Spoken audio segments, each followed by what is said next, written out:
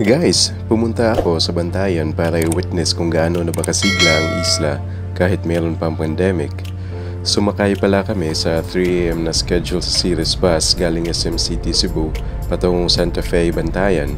I think uh, nasa almost 5 hours yata ang biyahe from uh, Cebu hanggang nakarating na kami sa Bantayan Port.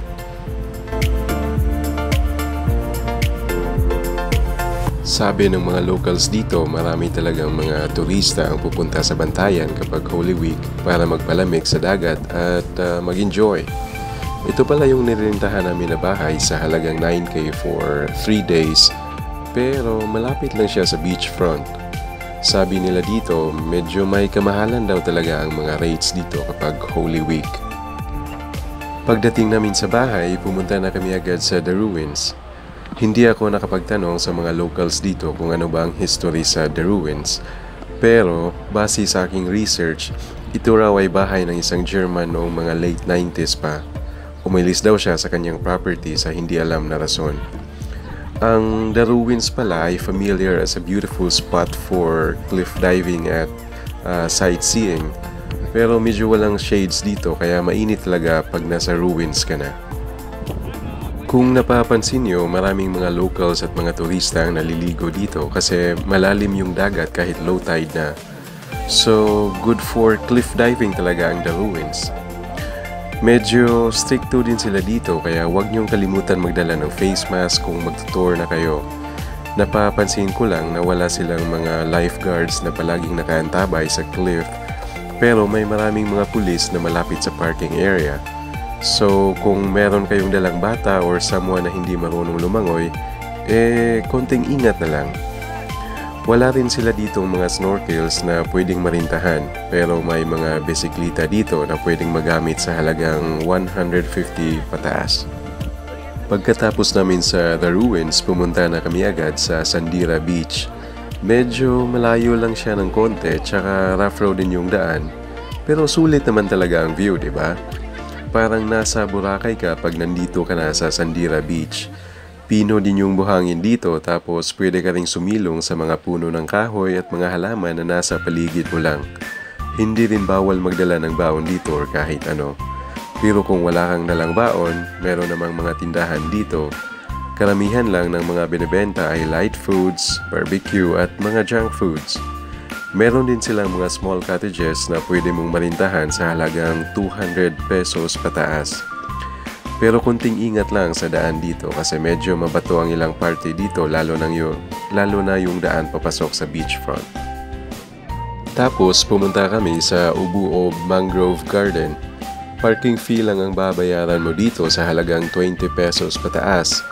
Tsaka kung balak nyo magrenta na lang ng lamesa, 50 pesos ang isa which is good for 6 to 10 persons na.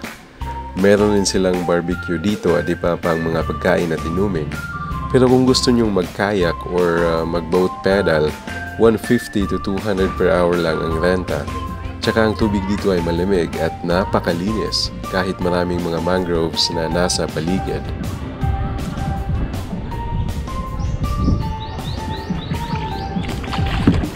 Pinasok ko ang ilalim ng mangrove garden at uh, ito yung view niya dito. Sobrang linis at well-maintained talaga. By the way, kunting kaalaman lang, ang mangrove ay aabot ng 80 feet or 24 meters kapag fully grown na siya. Pero it will take 10 to 15 years pa before siya maging fully matured. In average, ang isang mangrove ay tumutubo ng mahigit 1 to 2 centimeters kada taon.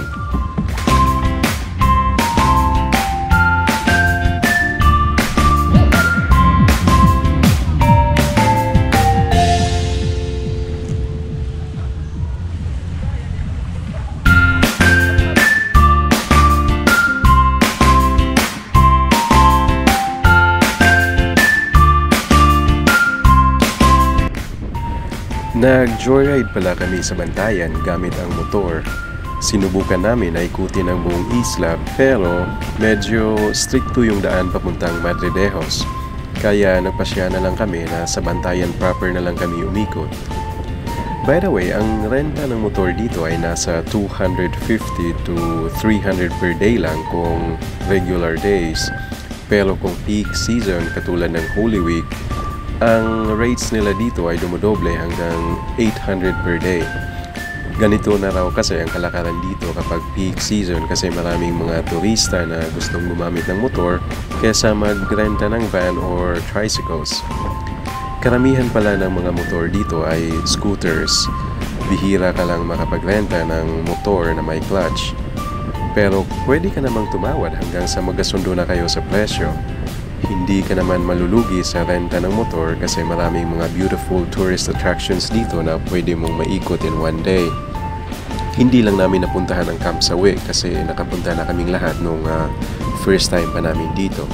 Maraming mga motorbike shops dito sa Bantayan kahit sa Pantalan pa lang mismo. So kung gusto nyong magrenta ng motor, i-google nyo na lang ang ilan sa mga affordable shops dito. Ito pala yung Budyong Beach na malapit lang sa bahay na nirerentahan namin. Walang entrance fee dito kaya maraming mga tao ang naliligo.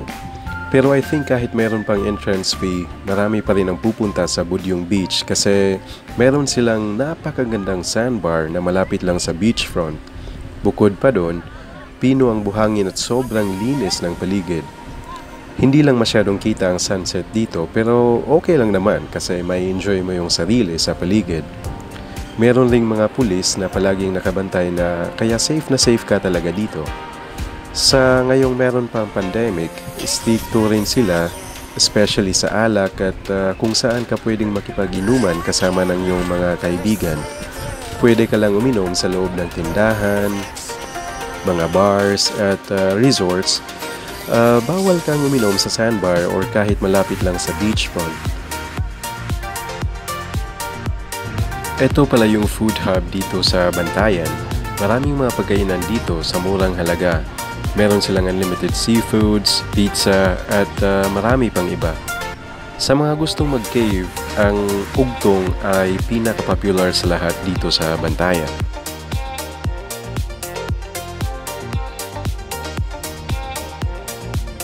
Sa second day namin, bumalik kami sa The Ruins kasi gusto naming maligo at mag-cliff diving. Pagdating namin dito, marami ng mga turista ang naliligo. Buti na lang may naiwan pang pwesto sa amin. By the way, matulis ang mga bato dito kaya konting ingat lang lalo na kung mag-cliff diving kayo. Hindi rin bawal kumuha ng drone shots dito kaya dalhin nyo na ang lahat ng iyong mga drone gadgets.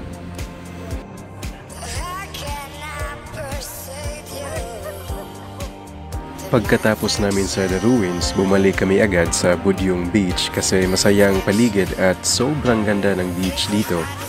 Pagdating na namin sa entrance, marami ng mga tawang nasa beachfront at uh, halos duble na ang bilang ng mga tawang naliligo.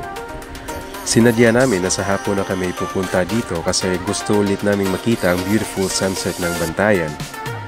By the way, hanggang 6pm lang pwedeng maligo sa beach as part of their beach rules. May mga tanod at mga pulis na sisita sa inyo kapag nasa dagat pa kayo after 6pm. Hindi ka naman nila titikitan pero dapat tayong sumunod sa batas para maging maayos ang lahat.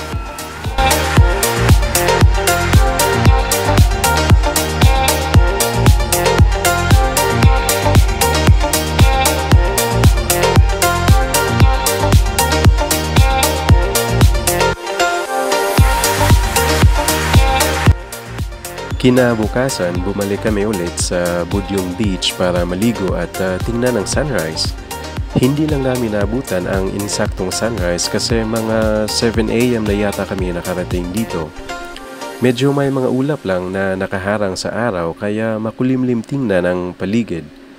Ang tubig pala dito ay malamig kapag umaga at sobrang linis. Perfect view talaga ang Budyong Beach kung sunrise ang hinahanap nyo.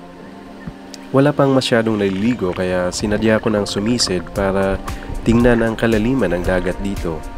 May ilang parte na puro buhangin at uh, meron ding mga seaweed sa ilalim ng bahagi ng dagat.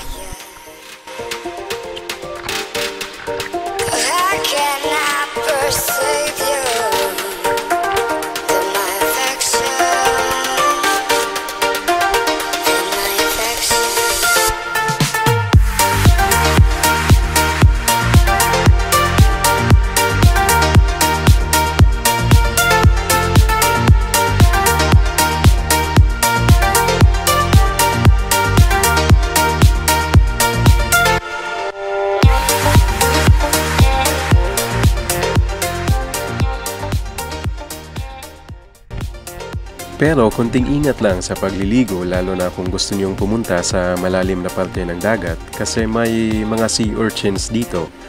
Pero kunti lang naman. Huwag niyo lang tanggalin ang inyong mga tsinelas para palagi tayong safe kahit na nasa dagat tayo. May makikita ka rin mga starfish at uh, kunting mga isda dito. Pero kung gusto nyo mag-fish uh, feeding, mag-island uh, hopping na lang kayo papuntang Virgin Islands at uh, iba pang mga islets na malapit sa bantayan. Magtanong na lang kayo sa mga locals dito kung magkano ba ang pinakamurang presyo ng uh, island hopping. Kasi ang nakikita ko sa ilang mga websites ay nasa 6,000 to 15,000 yata ang range. Pero depende na yan kung ilan kayo lahat.